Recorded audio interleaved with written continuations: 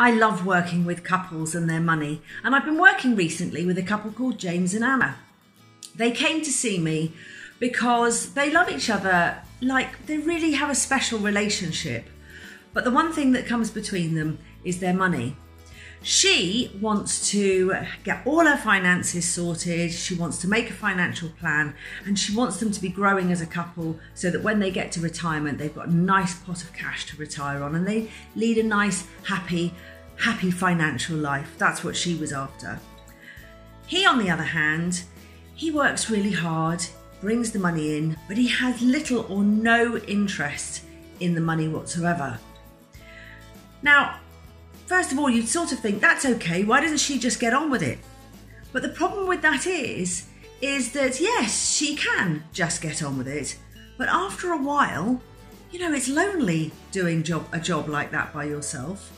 And after a while, she thinks, why do I have to do this all on my own? Surely this is our future. I want to share this with James, but he just doesn't seem interested.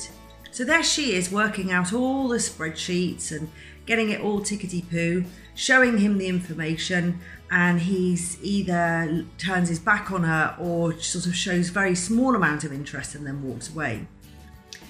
Now, it it happened during the last lockdown that their income was reduced quite dramatically.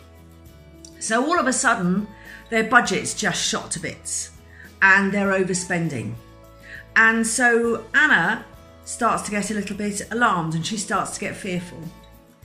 James doesn't really care. There's still money coming in. They've got savings anyway. Why not spend those? But Anna really needs to have the budget and to be able to keep on track for their fantastic financial future. Why is that? Why can't she just give in?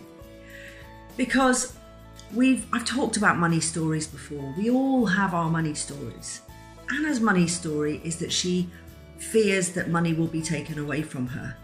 She fears that they're going to be left with nothing. There are all sorts of pieces of evidence that confirm that in her money story. The thing is, what she's not doing is she's not telling James about her fears. She's just living with it and just wanting him to conform.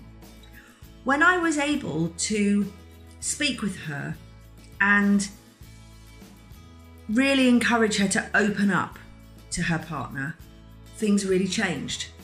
And she found out that he had needs too. He has needs. They both have needs. But the problem was they were butting up against each other because neither of them were opening up.